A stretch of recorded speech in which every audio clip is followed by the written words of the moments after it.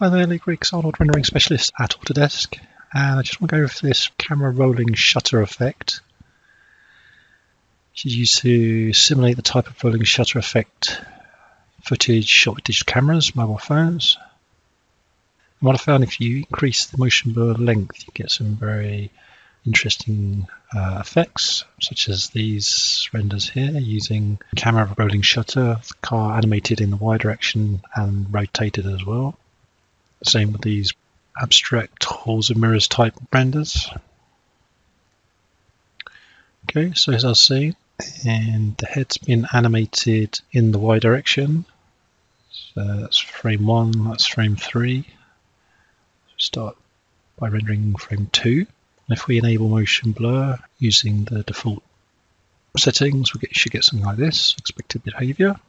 So now if we go into the Arnold attributes for the camera and if you scroll down, you should see rolling shutter, which is off. If we change that to top, you might not notice anything. So just go back to the motion blur settings and just increase the number of keys and the length as well.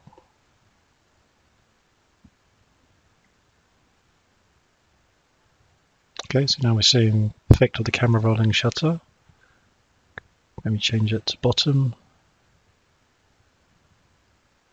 If we move the camera around, you can start to get to see some very weird effects.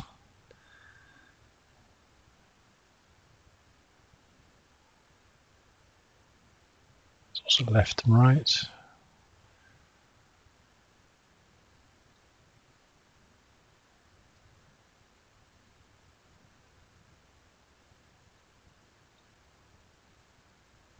So that's a length of 10. Create a snapshot.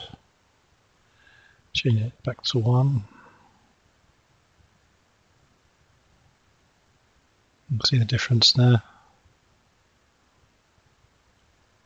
So that's camera rolling shutter in Arnold. Thanks for watching. Bye.